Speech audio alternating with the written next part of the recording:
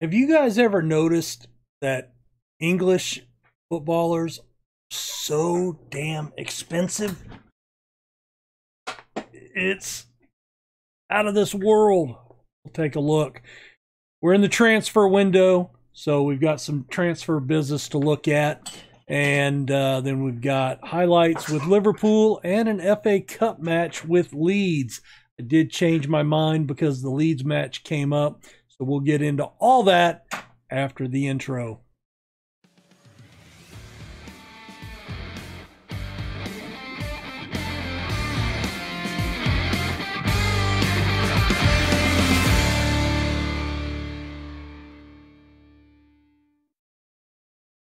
Hey guys, RC here. Welcome back. Football Manager 21, and this is Club 3, Episode 13 in our Journeyman Save. We are currently in the Premier League for the first year with Leicester after they have been a mostly championship side for quite some time.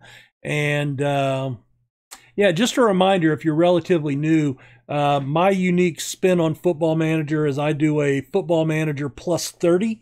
And what that is, is I, I advance 30 years in the future before I start my saves. That way, basically, everybody in the game is a, re, is a new gen all the players are gone. So let's start looking at. Well, we're gonna. I'm gonna play this match against Liverpool league match. We'll come back. We'll catch up on other league matches. We'll check out the highlights. Uh, we'll go through the transfers and then we'll get into the Leeds match. So uh, let me get this played and uh, I'll be right back for you. Le- Liverpool, of course, heavily favored in this one, but we've been doing well. So Nagami finds Mikatin on the right wing into Graves, and Graves has been deadly for us again this season. And put us up 1 0. Liverpool turns it around and beats Gibbon from the left side of the box. Good finish to the back post. Gibbon maybe should have done a little bit better, but you know, sometimes you just can't put that on the goalkeeper. That's a square in. It gets headed through a crowd of three to Ramadani at the back post. And now we're in a 2 1 hole. 58th minute. We're back on the attack. Henson's into the box, slides it past the keeper at the near post. That's the equalizer at 2 to 1.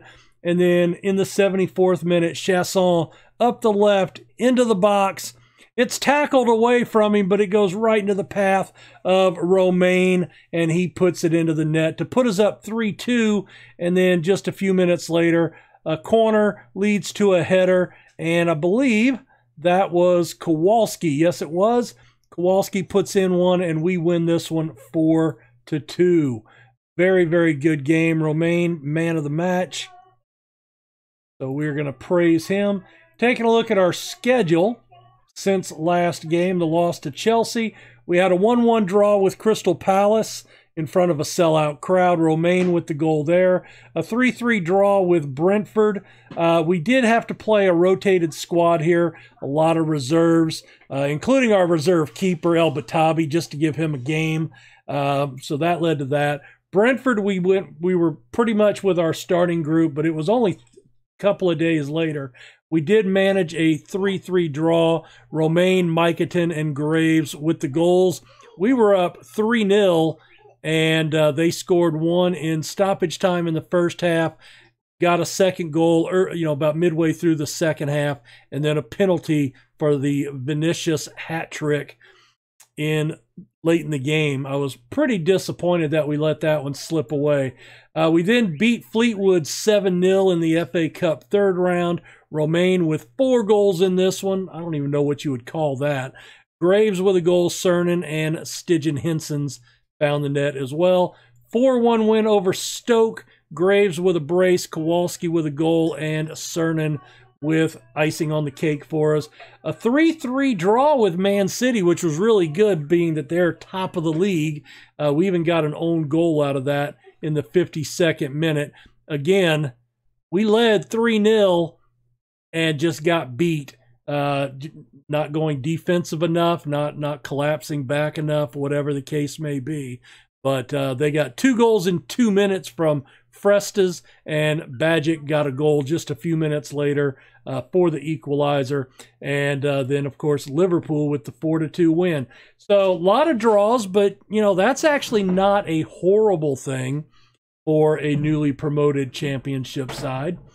Uh, so taking a look at the competition, we are currently in ninth. We have clawed our way up to ninth, 31 points from 22. So we're now, what, nine points above one for one.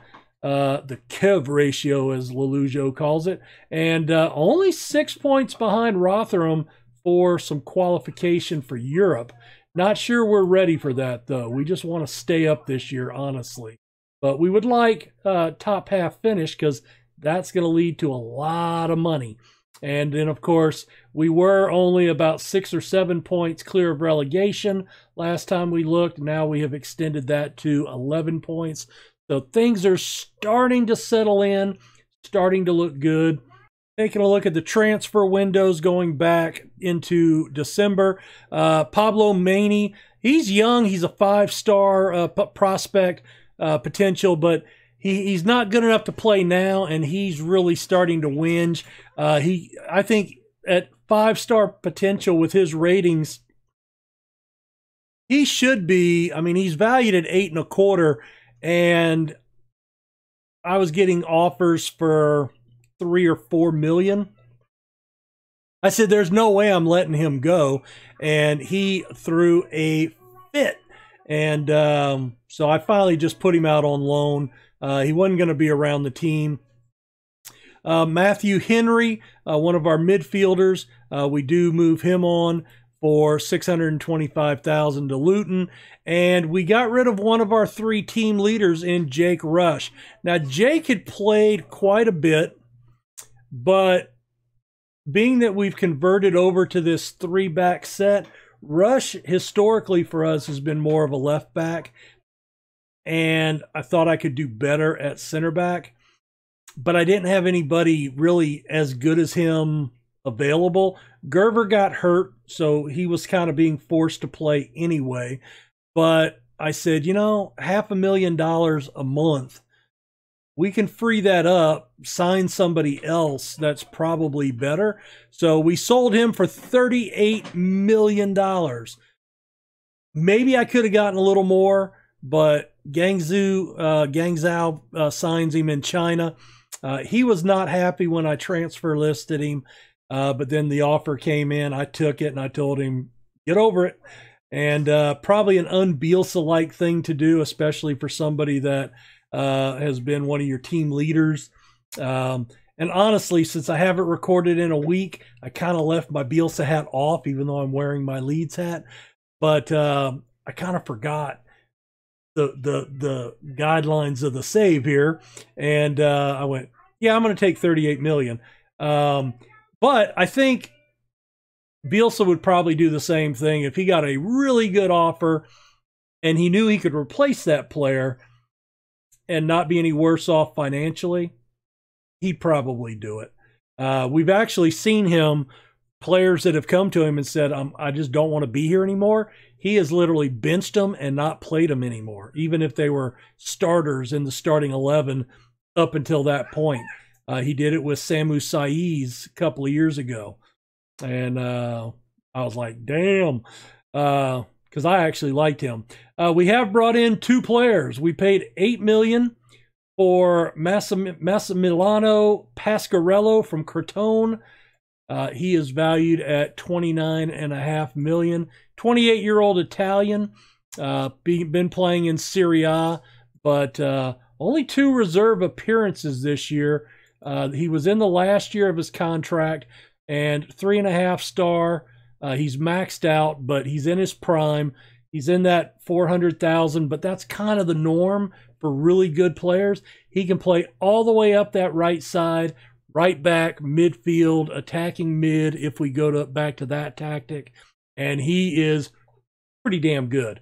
Uh, already two starts, one assist, playing a 705, 79% passing. Like to see that get a little bit better, but for two matches in, I think he's doing a bang up job. And then we also brought in Luke Rowe from Bristol City for five million. He is a striker, 5'11, value now at 27 and a half million. Bristol City bought him for 59 million. He's actually been a goal scorer, just you know, one in three, one in four, uh, while he, he's been tooling around. But he hadn't played badly, six nine, six eights.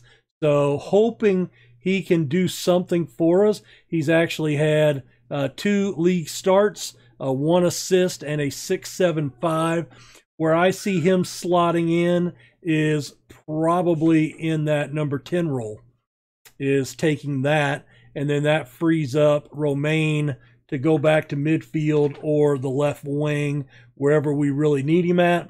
And then we also have a deal out for Aaron Fowler. Now, I mentioned that English guys are evidently very expensive, and historically they are in the game, probably in real life too.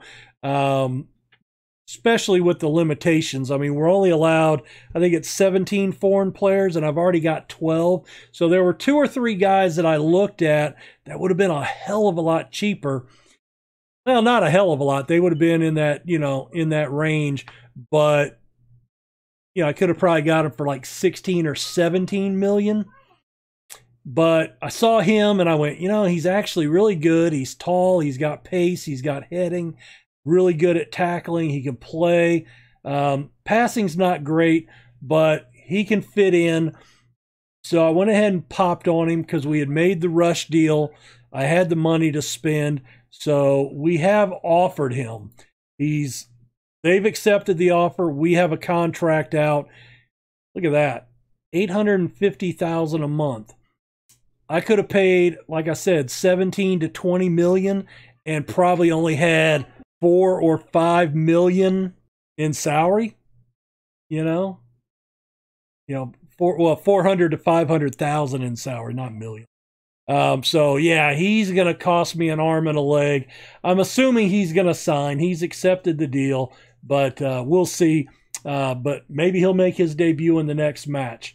So again, good win over Liverpool. We're on a good run of form. We're scoring goals with this new tactic that came in uh, during the West Brom match. So uh, you can see we're scoring goals for fun, basically. Uh, but still, we're conceding a fair bit as a you know, newly promoted side. And I was going to come back for Leeds, but you know, Arsenal is sitting there. I guess I could do Arsenal and come back for Leeds, but you know what? Let's go ahead and play Arsenal. Let me get to it, and we'll just play them today instead of Leeds. All right, we are back. We're going to go with Given in goal, Fowler, Gerver, and Kowalski on the back line. Fowler making his debut. I almost couldn't afford him. I had to adjust the finances all the way uh, into transfer budget, and it let us squeeze it out. Um, Wheel, Mateus, Romain, Pasquarello on the midfield. We did have some guys tired in there. Uh, we are going to put Rowe on the bench, and uh, let's see, who's the other guy? Oh, Nagami's on the bench too. So they'll be all right to play a little bit, but they couldn't play the whole game. Uh, Gomez Santos, we're going to move up into that number 10. Graves and Cernan up top for us. Pasquarello still looking for team fitness. Fowler making his debut, as mentioned. All right, they are motivated. Open them up with a spot of encouragement, of course. Arsenal with three early shots, but nothing on target. And we get the first highlight it is headed out, and Alcides is out there on the counter. We do have three people back. Fowler and Pasquarello are collapsing as well. And looks like they held things up just enough for the entire team to get back there. And oh my God, how did that happen?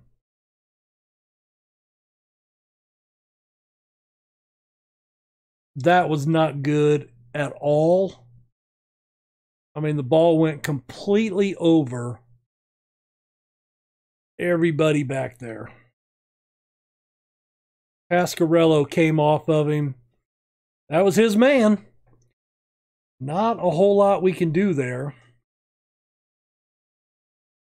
and we find ourselves in a 1 0 hole. 17th minute, we're back in the highlight reel. Is it going to be us or is it setting them up for something? Santos into wheel and he puts it in at the back post.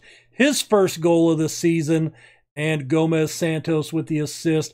And we do come right back and equalize. That makes me feel a whole lot better. a whole lot better. we're playing them tough. We've actually taken the lead on shots on target. So that bodes well. Graves, he takes a crack and then it goes out of play for a corner. Grayson could not maintain control of the ball. Leeds is now up 2 0. Mateus loses it, gets control again, plays it back out. Gomez Santos down to the touchline, and I tell you what, I think they've quit calling fouls in this game. I really think so. Leeds is now up 3 0. 31st minute goal. Oh my goodness. Uh, let's encourage them again in the final minutes. It's going to be an Arsenal highlight. Headed out. Gomez Santos controls it with the touch. He does have runners in front of him. Graves and it trickles into the goal. 24th of the season for Graves. Gomez Santos will get the assist. I don't know why that one particularly would be replayed, but we'll let him replay it at least next the next home game. Got very lucky on the goal. Two minutes of stoppage time. My concern is we've just come back to a straight kickoff highlight, and Arsenal is immediately on the attack. Fowler on his debut stabs at the ball and takes it away. Gets it up near midfield. And there's a ball up to Graves, and he dinks the keeper. But it's too high. He couldn't get the drop on the ball, or we would have had a 3 1 advantage. As it is, we have put 14 shots, six on target, and are now looking the better side. We're going to outstretch the arms. No, we're going to pump the fist. Uh, they've given you credit. Try to keep them motivated. Uh, let's encourage them again. It's still only a one goal game.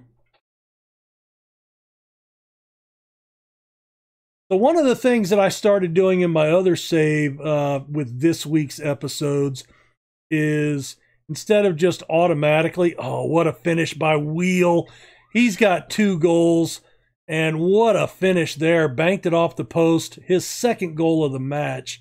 Uh, but instead of substituting right at 60 and 80 minutes, I'm kind of waiting for guys to uh, either be in foul trouble or for them to actually go red.